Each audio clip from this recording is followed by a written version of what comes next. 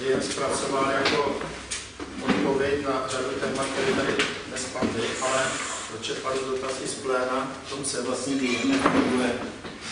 Mám prezentaci, takže ji předvedu. Pokusím se, pokusím se stručně omlouvám se těm, kteří už ji viděli někdy v minulosti. Doufám, že se mi to povede. Něco spustit, nedaří se mi to. Musím se přihlásit. Jo.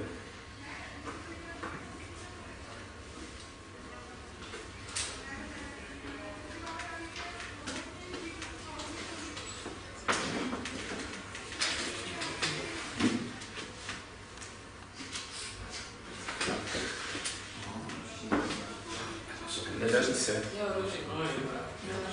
Je to tam? Jo. Tam, výborně. Takže budu klikat poměrně rychle, ale snad vám to udělá aspoň rámcový obrázek, co je jak funguje. Jinak v debatě, pokud mi zbyde ještě v té čtvrthodince pak čas, tak já tam mám na konci i nějaké informace o tom dokumentu, který jsem tady původně chtěl hlavně představovat, to je ten nový úděl pro Evropu. Možná se tam dají najít odpovědi na některé skeptická vyjádření, některá skeptická vyjádření dnešní. Uvidíme, jak se mi to podaří potom prezentovat během, eh, během eh, diskuze nebo odpovědí na dotazy. Takže otcové, zakladatelé a matky zakladatelky, dva klíčové, eh, dvě klíčové osobnosti, Janis Varoufakis, Strečko, Hrbat, nebo Horvat, Hrbat, jeden řek, bývalý minister financí za, ve vládě Syrizy, který odstoupil. Později se trošku nepohodl v té vládě a dneska funguje víceméně jako propagátor hnutí Diem. Diem. Srečko Hrvat je představitel, je to filozof, který spolupracoval hodně, myslím, s Ježíškem a, a Žižek je tak jedna z osobností, která byla u začátku, jinak Brian Eno, to je angličan, hudebník, Juliana Sáč asi netřeba představovat, Katia Kipping je z Dilinke, Saskia zase je socioložka a Noam Chomsky. Vidíte, že tam nejsou jen Evropané, ale jsou tam i lidé mimo, mimo Evropu. Hnutí Diem, jinak překládáme česky hnutí za demokratizaci Evropy, bylo založeno 9. února na zasedání v únoru, kde se sešla většina těch lidí, kteří byli na té první fotce, plus zajímavé bylo, že tam byli zástupci odboru, zástupci zelených, zástupci Podemosu a některých dalších, dalších organizací. A v podstatě byl prezentován manifest Diemu, o kterém mluvil i se zmiňoval i Michal, je tam k dispozici jeho kratší verze. Existují české verze, kde jsou k dispozici. Diem chce demokratizovat Evropu, má na to zhruba 10 let, má nějaký plán, jak to chce dosáhnout. Tady jsou nějaké zásady hnutí Diem, aktivity Diem, asi nejvýraznější aktivity, kde se Diem v nějakém komplexnějším tvaru prezentuje, jsou oficiální schromáždění. Já jsem vybral, ono je víc na různých úrovních, ale tyhle jsou asi takový nejklíčovější, který dávají představu o tom, jak jen funguje.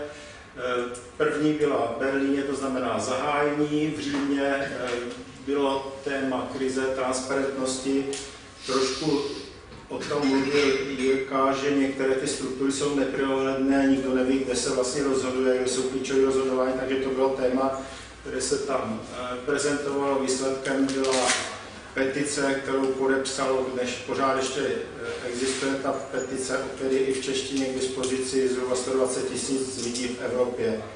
Idea Diemu, že tím ovlivní Evropskou unii, se bohužel zatím ještě nenaplnila. Ale byl to takový první pokus se prezentovat e, veřejně trošku v širším fóru. Z dalších je tam Vídeň, tam se nám podařilo vyrazit taky s kolegama z Českých Budějovic. Ještě bych se měl představit, já reprezentuju i z Prahy, dokonce tam byli, dokonce i Piráti tam byli zástupci, měli jsme možnost byť krátce se setkat i s kolegy z vídeňských eh, a jiných německých, španělských organizací a prezentoval tam Janis Varoufakis svoji vizi vlastně fungování DM. Měli jsme možnost se s ním taky krátce sejít. Další byla opět v Římě, to bylo u příležitosti výročí římské smlouvy, kde byl prezentovaný právě nový úděl pro Evropu.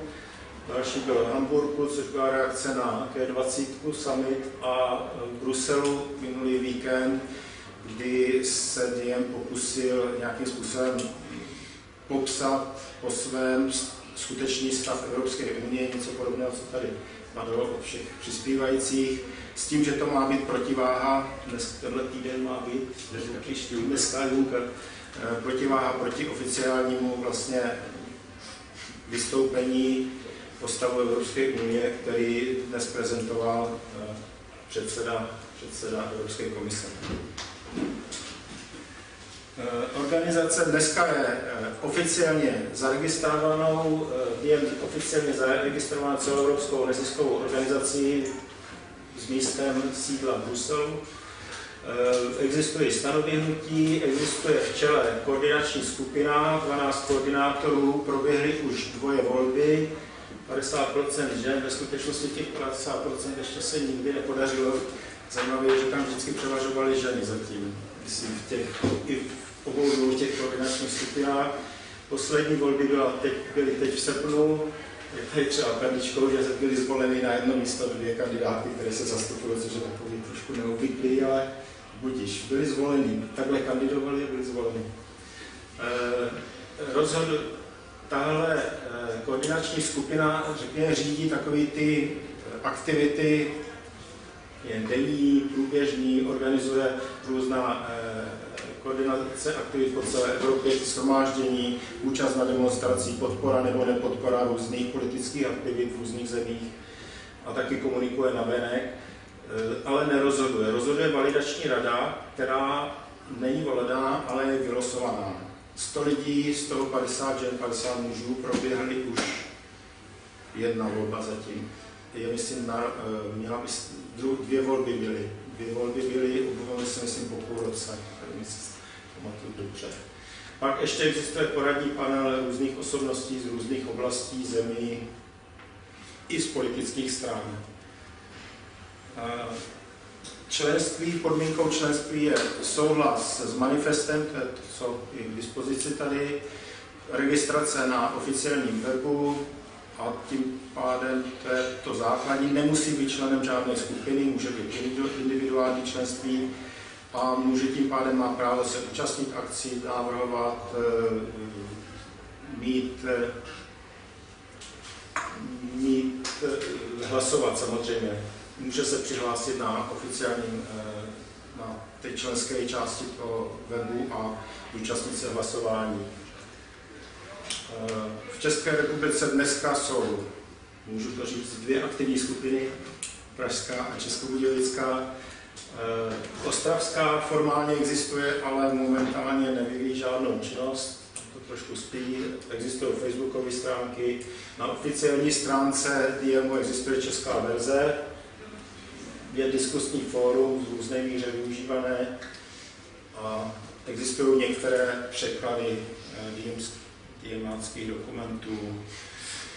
Eh, v současné době existuje po celé Evropě oficiálně registrovaných asi 60 tisíc členů, i mimo, eh, nejenom v Evropě, tedy i mimo Evropu, asi 120 skupin. Na té mapě vidíte asi, že ta největší koncentrace je Německo, Belgie, Holandsko, Itálie, ale prakticky, co jsem se díval, v 25 členských zemí, ne, v evropských zemích existují oficiálně zaregistrované skupiny. Říká se jim DSC, DS Spontaneous Collective System, dá se to přeložit jako autonomní skupina. Podmínkou, že musí být aspoň pět členů a těch pět členů má právo se dohadovat a rozhodovat o místních třeba aktivitě. Co se týká organizace na státní nebo regionální úrovni, v letošním roce probíhají tzv. pilotní projekty na zavedení v některých zemích, jak by mohly fungovat eh, na státní nebo regionální úrovni. Myslím, že začíná fungovat nějaká celostátní koordinační skupina v Německu, myslím, že v Belgii, Holandsku, v Anglii, ve Velké Británii, v Irsku, v některých z těch jihoevropských zemí.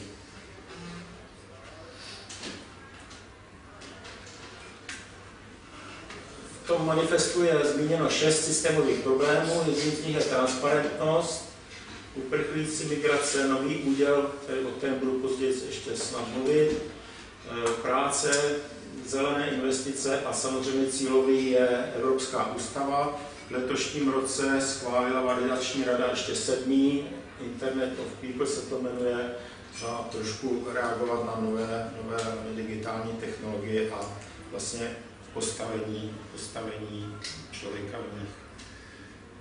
Tady už se dostávám k novému údělu, tam snad jenom velice stručně teď eh, Diem vychází z toho, že vlastně Evropská unie neplní svůj úlohu, ono o tom mluví docela jako dost podrobně.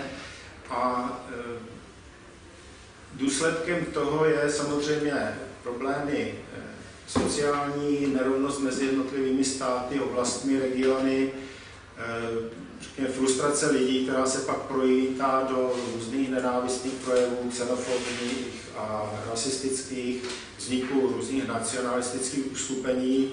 A když to hodně zjednoduším, tak vlastně jedno z řešení, které tato, eh, jedno z řešení, která tato uskupení nabízejí, je vlastně eh, návrat národním státům, stavení plotů na hranicích, eh, proteci, v ekonomické oblasti protekcionismus a řada dalších, dalších opatření, která de facto vedou desintegraci nebo rozpadu Evropské unie.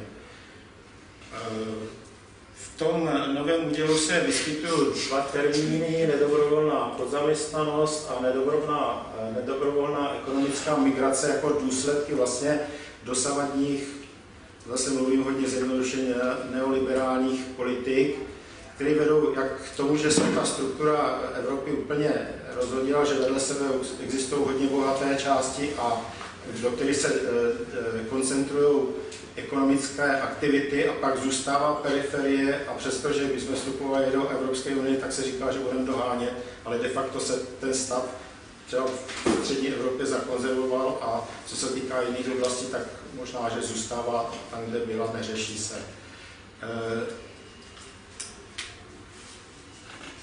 takže to je jenom k tomuhle.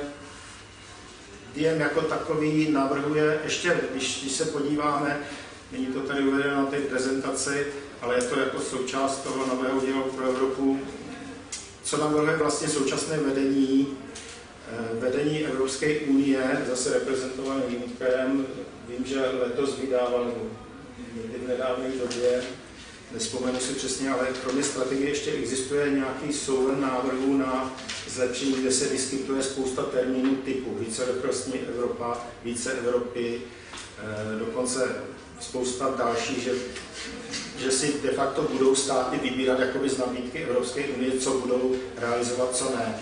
Diem říká, že tohle taky není řešení. Na jedné straně, když bude více Evropy, tak zakonzervuje se stav, který existuje, to znamená, zakonzervují se Eh, neoliberální politiky typu škrtacích, škrtacích opatření a vznikne to, čemu se tam bezkratce říká European Austerity Union. A nebo druhá strana je vícerychlostní Evropa, variabilní geometrie, tak nějak se říká těm, těm pojmům. Zase znamená, že budeme akceptujeme to, že se budou různé země, země vyvíjet různým způsobem, ale v praxi říkáme, že de facto to je rezignace na nějakou jednotnou nebo stav Evropské unie, který, který by reprezentoval Evropu jako celek. To znamená, nevede to, nevede to k řešení. E, nabízí principy, čtyři principy, šest politik, ke kterým se můžeme vrátit za chvíli v debatě. E,